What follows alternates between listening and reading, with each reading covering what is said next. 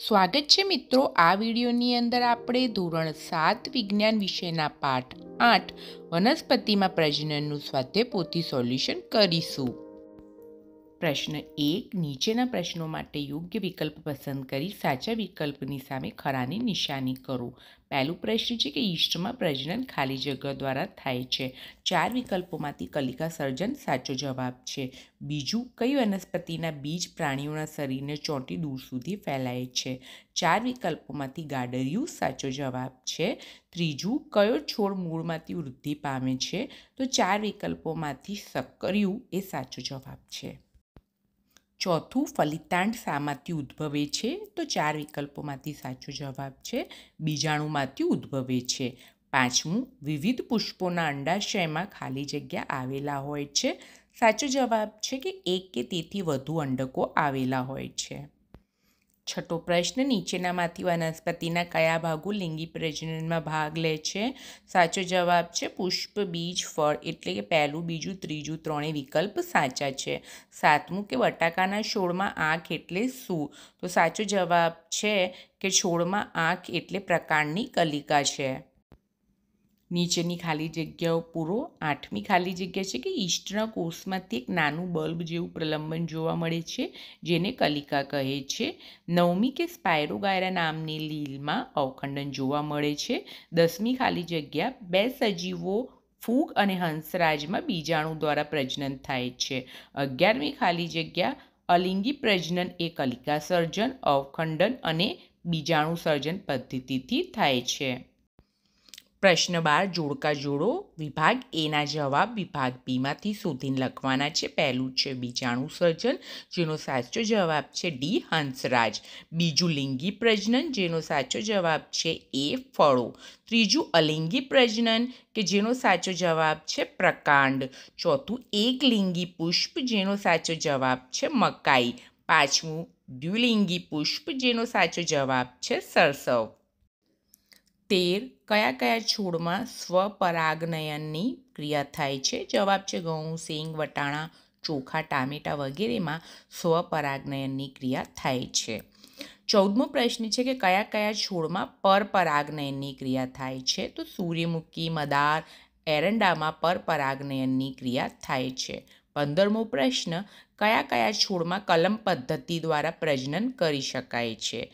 જવાબ છે ગુલાબ, ચંપો, મેદી વગેરે છોડમાં કલમ પદ્ધતિ દ્વારા પ્રજનન કરી શકાય છે. પ્રશ્ન સોળ, નીચે આપેલા ફળોનું માંસલ ફળ અને શુષ્ક ફળમાં વર્ગીકરણ કરો. તો માંસલ ફળમાં બોર, કેરી, કેળા, સફરજન, ટેટી, ચીકુ, દ્રાક્ષ, મોસંબી, નાળિયેરનો સમાવેશ થશે અને શુષ્ક ફળમાં વટાણા, તુવેર, મગ, ચણા, મગફળી વાલ અને ચોખાનો સમાવેશ થશે. પ્રશ્ન સત્તર, નીચે આપેલ પુષ્પોનું એકલિંગી પુષ્પ અને દ્વિલિંગી પુષ્પમાં વર્ગીકરણ કરો. તો એકલિંગી પુષ્પમાં મકાઈ, પપૈયા, કાકડીનો સમાવેશ થશે અને દ્વિલિંગી પુષ્પમાં સરસવ ગુલાબ પેટુનિયા, જાસૂદનો સમાવેશ થશે. અઢારમો પ્રશ્ન છે કે કઈ વનસ્પતિઓના મૂળ નવો છોડ ઉત્પન્ન કરી શકે છે? તો જવાબ છે સક્કરિયું, ગાજર, ડહાલિયા વનસ્પતિના મૂળ નવો છોડ ઉત્પન્ન કરી શકે છે. અઢાર કઈ વનસ્પતિઓના મૂળ નવો છોડ ઉત્પન્ન કરી શકે છે? તો સક્કરિયું, ગાજર, ડાહલિયા વનસ્પતિના મૂળ નવો છોડ ઉત્પન્ન કરી શકે છે. ઓગણીસમો પ્રશ્ન, વાનસ્પતિક કલિકા કોને કહે છે? જવાબ છે, મૂળ, પ્રકાંડ અને પર્ણ પરની કલિકા જેને રોપીને તેમાંથી નવો છોડ ઉત્પન્ન કરી શકાય તેને વાનસ્પતિક કલિકા કહેવામાં આવે છે. પ્રશ્ન વીસ, આપેલ વનસ્પતિના બીજના ફેલાવાને ધ્યાને લઈ તેનું પાણી પવન પ્રાણીઓ દ્વારા બીજના ફેલાવામાં વર્ગીકૃત કરો. પહેલું છે પાણી દ્વારા, તો જવાબ આવશે નાળિયેર.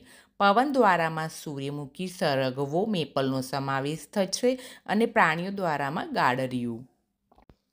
પ્રશ્ન એકવીસ, વાનસ્પતિક પ્રજનનના ઉદાહરણ લખો.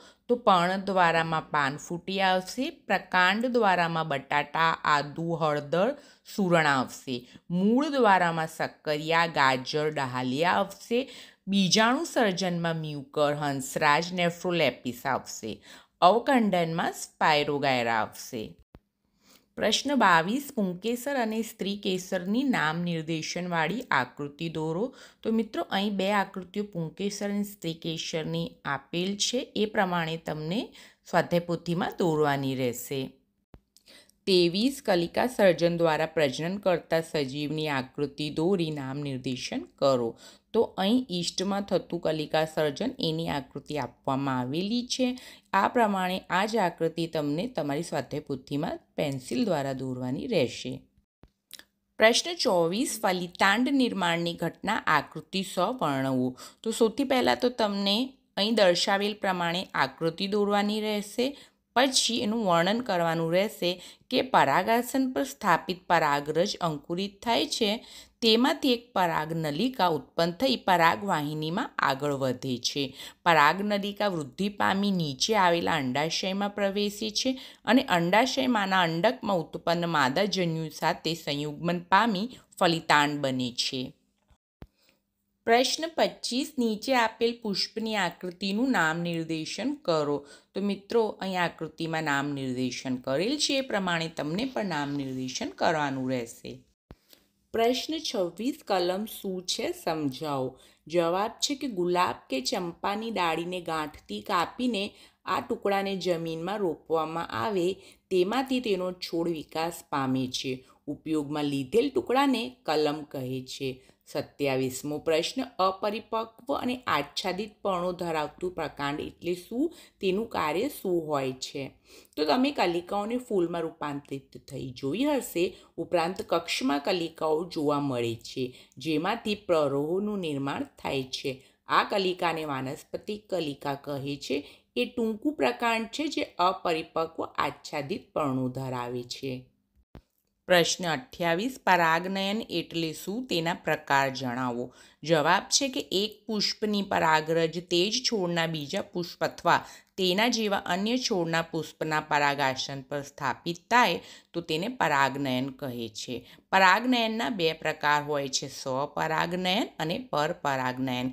તો મિત્રો, અહીં જ આપણું સોલ્યુશન સંપૂર્ણ થાય છે. જો વીડિયો ગમી હોય તો એને લાઇક શેર કરજો અને આવા બીજા વીડિયો પ્રાપ્ત કરવા માટે ચેનલને સબસ્ક્રાઈબ કરજો. Thank you.